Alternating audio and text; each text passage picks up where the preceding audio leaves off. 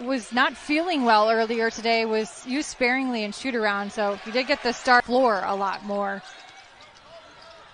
Reeves, step back three. That's the Redbirds. Reeves will try another three. That's in. So after But look, it's like what we saw the other night against Lance Jones from SIU. Reeves tries to answer, he does. Edwards penetrates and flips it up. Redbirds did a nice job scrambling, getting their defense back. Woodyard had a shot blocked. Not sure they can do that. A lot of experienced guys on this roster. Even Kevion Taylor's been shooting it, Sheldon Edwards, and then Ben Krikke's been playing. Reeves with a good first step. He tried to slip basket. They haven't had a field goal in over six and a half minutes. Now it's Reeves down the paint to Schmidt.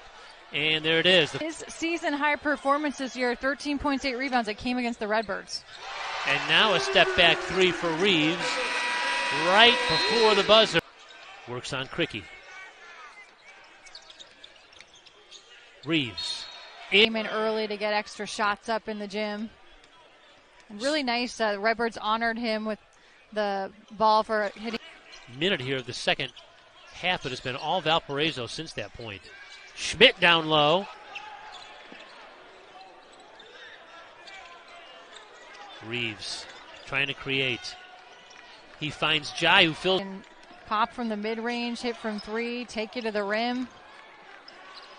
So can Reeves. Now, Reeves. Changes direction. Floater. Off the glass.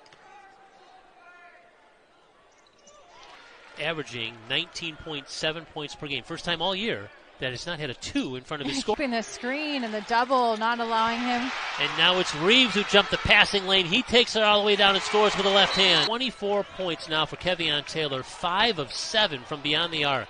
And Reeves tries to answer. Reeves stutter step. He'll try the glass again and score.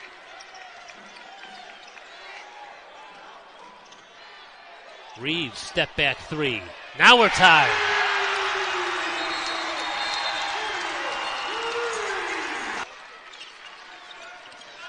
Now Reeves has a lane. His floater is good, and we're. T- now Reeves with eight on the shot clock. Krikke switches out on him. Pump fake. And he's still, still prize here who's going to have the basketball in his Well, hands. here comes the double, and that's smart, forcing Reeves to pick up the basketball. Freeman down to Liam Mc-